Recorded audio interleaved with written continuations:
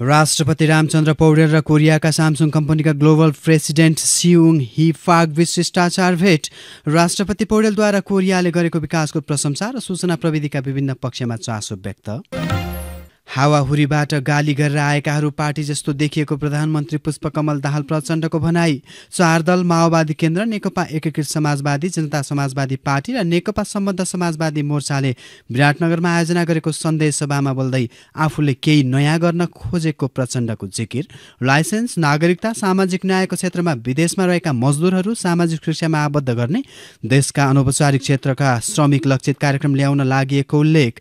प्रधानमन्त्री पुष्पकमल दाहाल प्रचण्डले सरकारले चलाएको भ्रष्टाचार विरोधी अभियानबाट हत्तालिएका तत्त्वहरूले सरकार विरुद्ध षड्यन्त्र गरिरहेको भनाई।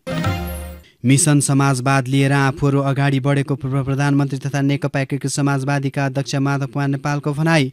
सकारात्मक सन्देश दिँदै जनतामा आशा र आत्मविश्वास दिनुपर्ने उल्लेख।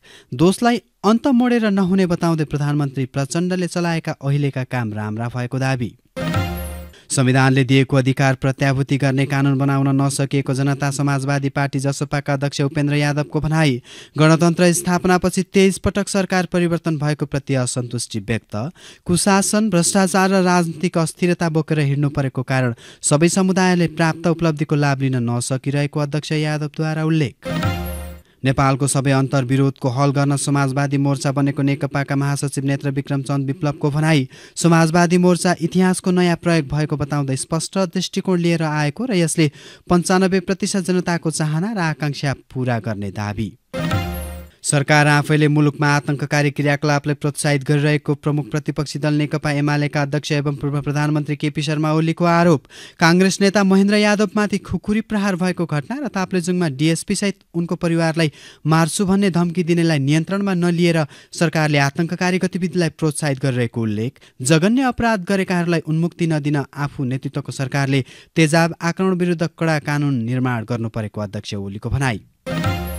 अमेरिका भ्रमणमा जाने टोलीको संख्या घटाउन प्रधानमन्त्री पुष्पकमल दाहाल प्रचण्डको निर्देशन। परराष्ट्र मन्त्री एनपी साउदसहित चौबिसजनाको टोली अमेरिका जाने गरी मन्त्री परिषदले गरेको निर्णयमा परिवर्तन गर्न प्रधानमन्त्री प्रचण्डको निर्देशन। मङ्गलबार बस्ने मन्त्री परिषद बैठकले प्रधानमन्त्रीसँग कतिजनाको टोली जाने भन्ने निर्णय गर्ने प्रधानमन्त्रीका प्रेस सल्लाहकारद्वारा जानकारी। अखिल नेपाल फुटबल सङ्घ एन्फामा अध्यक्ष र महासचिव विरुद्ध मोर्चा बन्दी। वर्तमान एन्फा अध्यक्ष र महासचिवले नेपाली फुटबललाई धाराशाही बनाउन लागि परेको र उनीहरूलाई सो पदमा निरन्तरता दिँदा नेपाली फुटबलको भविष्यमाथि नै क्षति पुग्ने असन्तुष्ट पक्षको भनाई। असन्तुष्ट पक्षले तत्काल साधारण सभा बोलाउन र सभामा अध्यक्ष पङ्कज विक्रम नेम्बाङ र महासचिव किरण राईलाई बर्खास्त गर्ने सम्बन्धी एजेन्डा राख्न माग।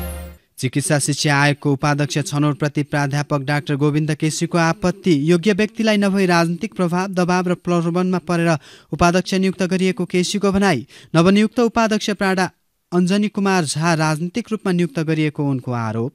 भदौ उनातिस गतेदेखि आमरण अनसन बस्ने घोषणा सबै खाले स्वास्थ्य जनशक्ति उत्पादनका लागि चिकित्सा शिक्षा ऐनअनुसार यसै वर्षभित्र सबै प्रदेशमा कम्तीमा एउटा एउटा सरकारी मेडिकल कलेज वा प्रतिष्ठान खोल्नुपर्ने माग। र महिला विश्वकपको फाइनल खेलपछिको समारोहमा स्पेनकी फरवार्ड जेनी हर्मोसोलाई चुम्बन गरेको विषयमा आलोचना खेपिरहेका स्पेनिस फुटबल फेडरेसनका अध्यक्ष लुइस रुभियालेसद्वारा पदबाट राजीनामा। तेत्तिस वर्षीय हर्मोसोले सो चुम्बन सहमतिमा नभएको बताउँदै मङ्गलबार रुभियालेस विरुद्ध उजुरी दर्ता गरिसकेपछि राजीनामा आएको। अन्तर्राष्ट्रिय सञ्चार माध्यमहरूद्वारा जानकारी।